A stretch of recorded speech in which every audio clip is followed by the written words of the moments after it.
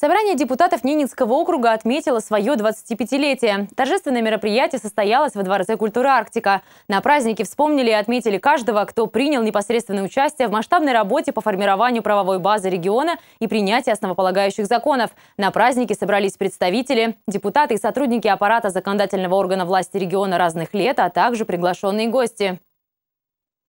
Первая сессия собрания депутатов Ненецкого округа состоялась 30 мая 1994 года. Именно тогда, четверть века назад, был сформирован первый в истории региона законодательный орган государственной власти.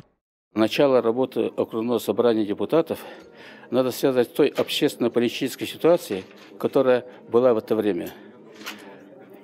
Фактически мы начинали свою работу, да и вся Россия начинала под грохот танковых пушек Ельцина – только-только э, расстреляли Белый дом.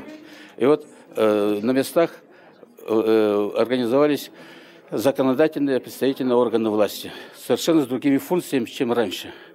Начиная с нуля.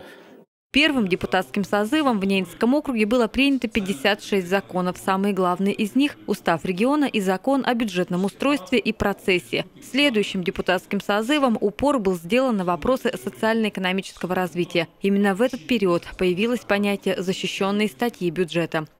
90-е годы, если вы помните, были достаточно тяжелые годы, в том числе и по бюджету, в том числе нехватка денег, не выплата заработной платы. И в это время нам нужно было выстраивать приоритеты, чтобы бюджетные средства ушли а, прежде всего нашим бюджетным учреждениям с учетом расставленных приоритетов. Были защищенные статьи, понятия, как, если вы помните, да, это питание, это зарплата. А, скудный бюджет нужно было распределять в интересах наших жителей. Начиная с 2005 года Ненецкий округ по темпам социально-экономического развития значительно опережал среднероссийские показатели. Это позволило собранию депутатов разработать и осуществить меры по социальной поддержке населения, заняться реализацией приоритетных проектов и региональных целевых долгосрочных программ, приблизить решение жилищной проблемы. Депутаты приступили к непосредственному исполнению наказов избирателей. Первый наказ а это был 2005 год, это строительство нового здания школы номер два, замен сгоревшего здания, и детишки занимались в приспособленных помещениях, две смены. И несмотря на бюджет, который был в то время не в таком виде, как сейчас, все-таки удалось пролоббировать решение вопроса по строительству нового здания. Мы привлекли э, спонсоров, наших недропользователей, компанию, французскую компанию «Тоталь». И удалось все-таки построить красивое современное здание школы номер два.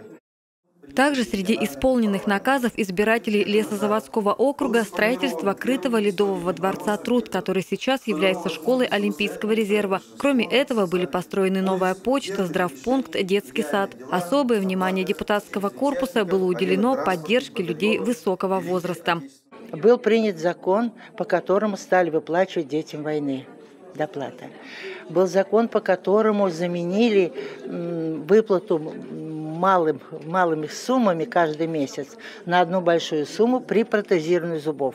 Решили в пять лет раз оплачивать 30, там, сколько определенную сумму э, за один раз, потому что экономить копейки эти не, не, не, не получалось было принято, был принят закон, который очень важен был. Он относился к медицинской нанотехнологии. Это удаление катакт, катаракты лазером. Каждый последующий созыв окружного парламента, а всего их было шесть, сохраняя лучшие традиции предыдущего, вносил новое в историю законодательной власти округа. За 25 лет прошло становление депутатского корпуса и аппарата регионального парламента. Хотел поблагодарить все предшествующие созывы, аппарат собрания депутатов, всех тех общественников, общественных организаций, которые помогают нам в нашей работе. Э, отдельных жителей, которые неравнодушны, которые словом и делом действительно подсказывают и советуют, каким образом лучше оптимизировать нашу деятельность.